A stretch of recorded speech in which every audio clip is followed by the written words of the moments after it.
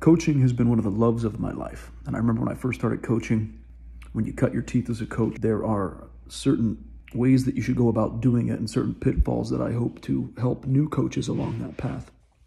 Great interpersonal skills are important, but the first one I want to go over is called chunking. Chunking is digestible skills because certain people will come into your academy with preset skill sets, meaning some people will take to it like a duck to water, while other people, you just can't quite get their body to move on certain techniques the way that you'd like. We've all experienced it. Some of the simple stuff I've had a hard time with, some of the more advanced stuff, so quick. So it really just depends upon the student. But as a coach, I remember when I first started coaching, I wanted perfection out of the gates. And this can be very disheartening for certain students. So what I would suggest is when you're working with students, make one correction, just one correction. Let them work on it.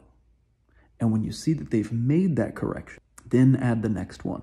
Because they could have 10 things wrong with their with their overhand right. They could.